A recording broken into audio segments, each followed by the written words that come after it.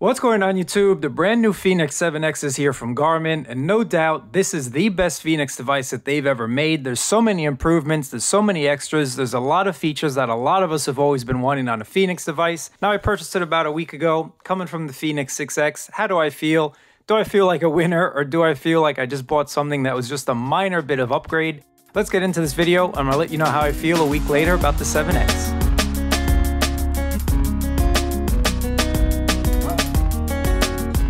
Right off the bat, guys, the price of the Garmin Fenix 6X is $999 before any coupons you might find online, before any discounts. Full retail is $999, and there's a reason for that. There's so many new features in here. There's a lot of great tech inside of the Fenix 7X. The 51 millimeter casing here is definitely a, a, large size, and you can see this ring around the bezel with their power sapphire glass. That's going to give you the solar capabilities. It also has a titanium build, which is definitely something that's going to prove durable in the long term.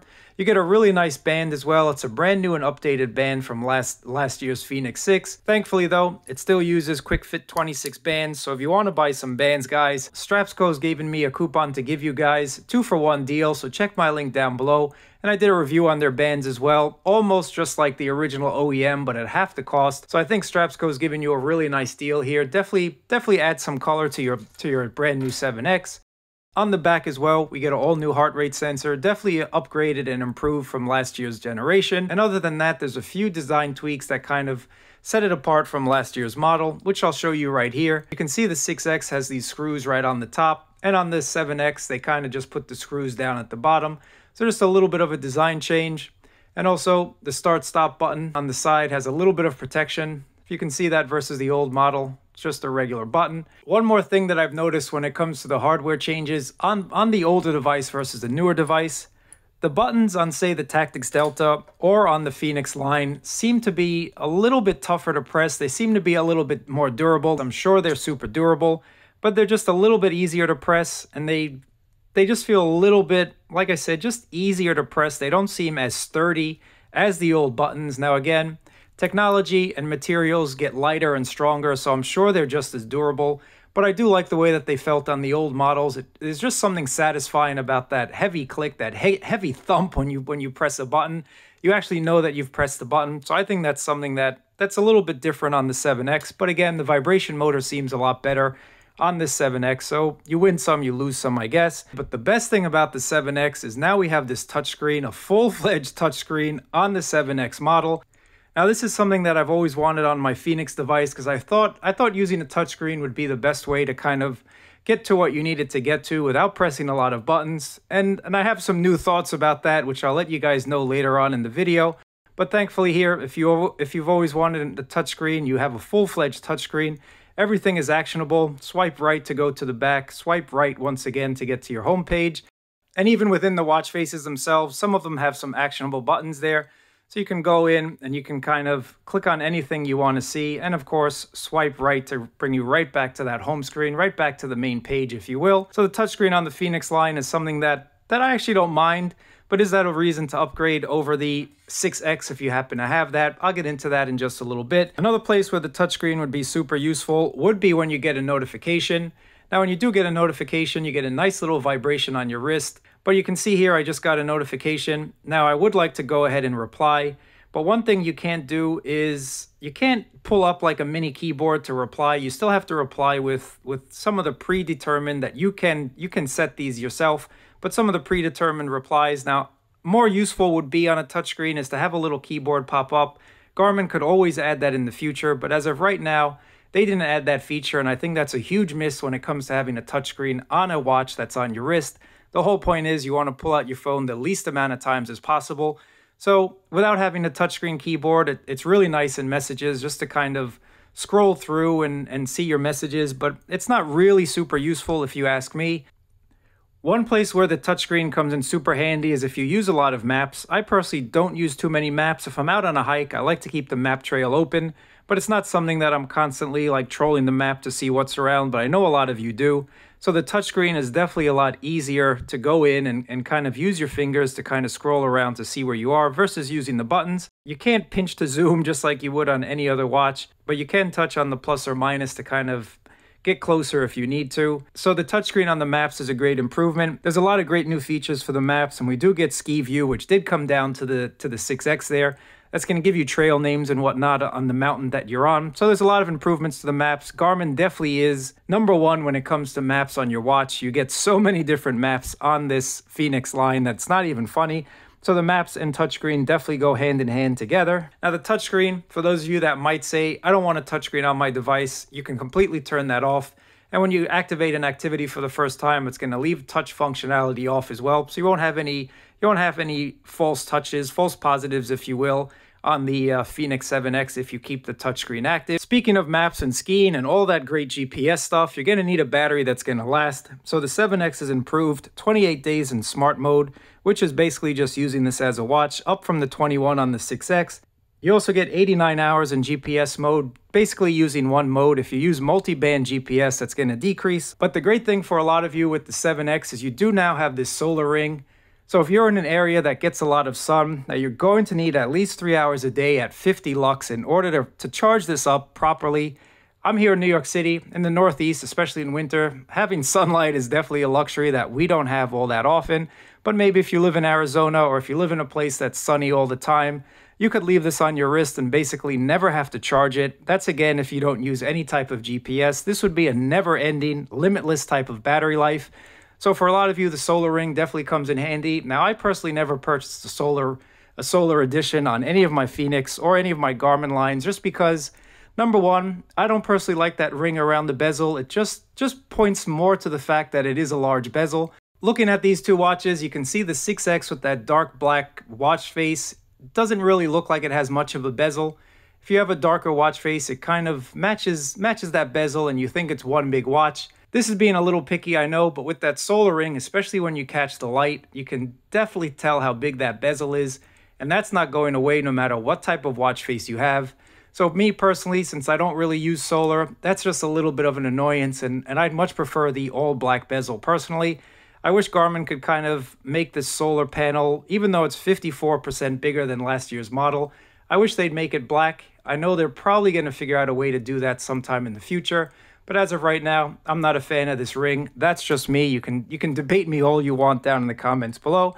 But for those of you that have a lot of sun, this is definitely going to be useful for you guys, and, and you probably won't be able to live without it. To show you what I mean about solar, I barely had any any activity, nowhere close to getting this to, this thing charged at all. Basically zero sun whatsoever. So for me, solar is just a waste. Solar is not something that I always wanted to spend that extra cash on, but now you kind of have to if you want the big boy. If you want the 51 millimeter Sapphire Edition, it only comes in solar. A few more things that are new with the 7X. We get this brand new flashlight right on the back here, and that's a pretty cool idea, especially for those of you that run or ride at night. You can actually have it can actually have it match your stride as you're running. So if we turn it on, you can see it's quite bright. You can change the brightness levels of the flashlight from within the settings, increase the brightness or decrease the brightness. And if you run with it at night, it'll also match your cadence, which I think is something super cool.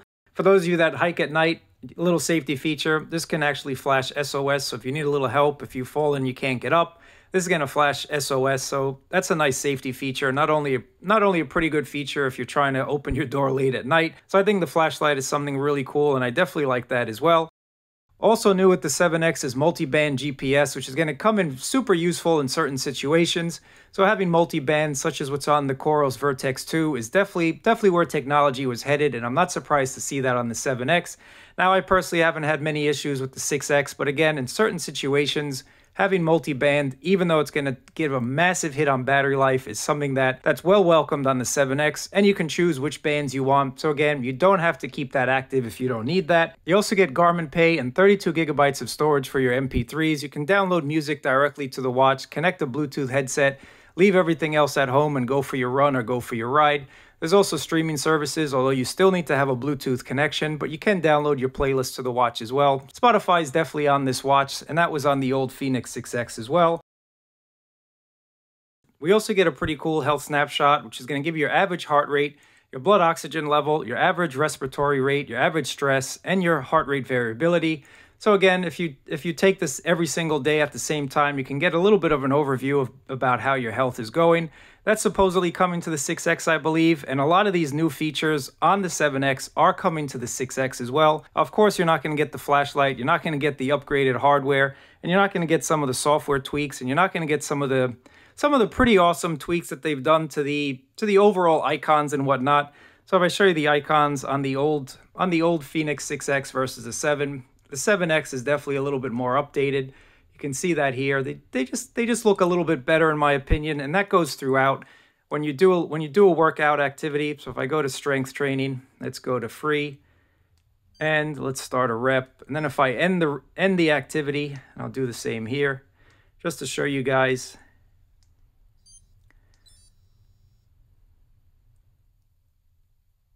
The updated user interface definitely looks a lot better. Now, I don't know if that's going to come to 6X. I doubt it's going to come to the 6X. I think I think Garmin's probably going to leave that for the new line, but it is much improved. It does look a little bit more modern, so I'm, I'm really happy with that as well. Now, again, guys, there's a lot of, lot of changes when it comes to the UI, a lot of changes when it comes to the graphical interface they did a nice job and it definitely looks cleaner, definitely looks more modern. After all, they are they are trying to get you to buy the more expensive, newer edition than what they have out in the past. A new feature on the 7X is called Stamina, and it's basically an extension of body battery, which I think works really well in kind of determining how you're feeling, if you're energetic or not.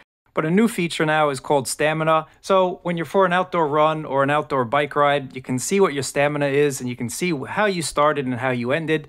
Now again, I've only had this watch for about a week and this is going to get better over time. But during this specific run, the watch estimated my beginning potential was 96% and I ended at 81. It was only a two mile run, so I don't think that's quite accurate just as of yet.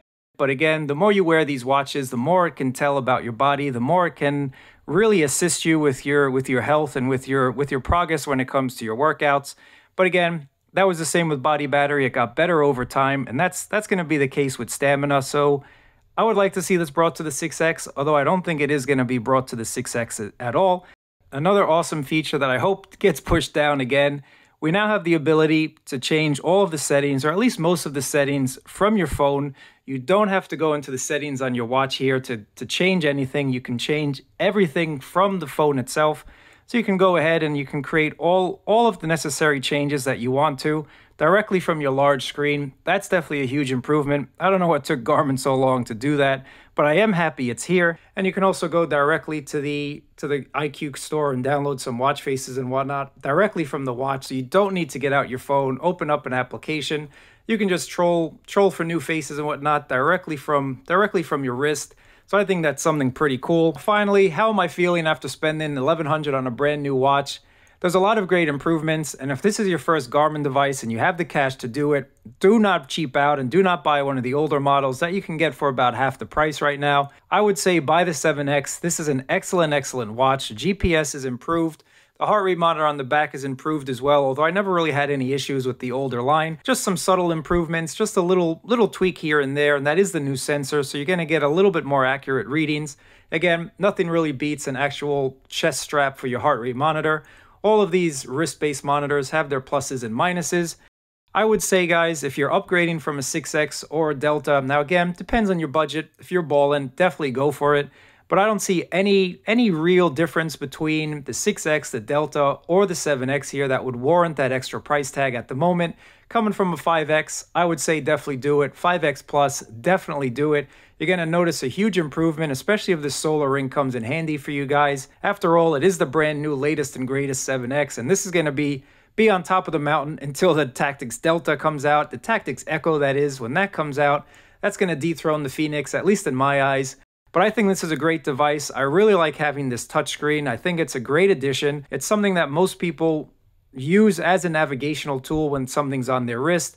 It definitely is a is something that I wanted personally. But again, without having a mini keyboard, I think it's great to kind of scroll around. But as any any longtime Fenix user will tell you, you actually get used to these buttons and it becomes second nature. And still, even though I had the touchscreen on this, I still found myself using the buttons. I just I don't know. I just I, I'm accustomed to it but I also did use the, the touchscreen quite often, especially when kind of scrolling through watch faces.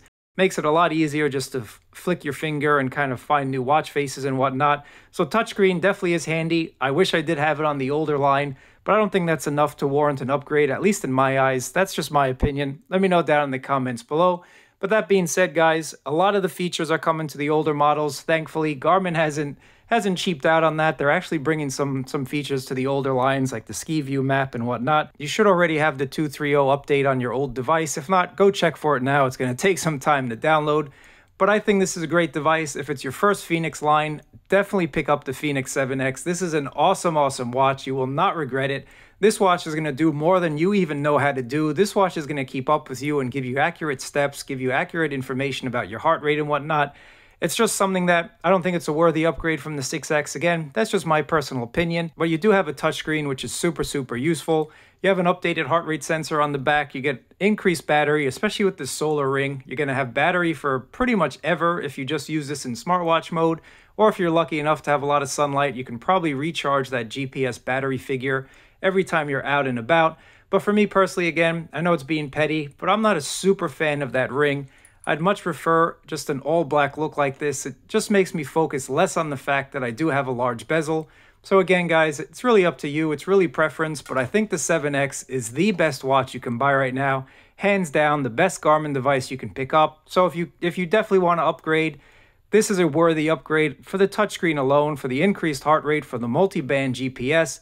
But if you're kind of struggling and you're on the fence and you don't know, should you get rid of your 6X? I would say no. Should you get rid of your Tactix Delta? I would say no, but I think the 7X is the best the best smartwatch, fitness watch, super watch I call it on the market. And that's my review on the 7X. I really appreciate you guys watching. Thumbs up, subscribe. If you have any questions, let me know down in the comments below. Catch you guys in another video.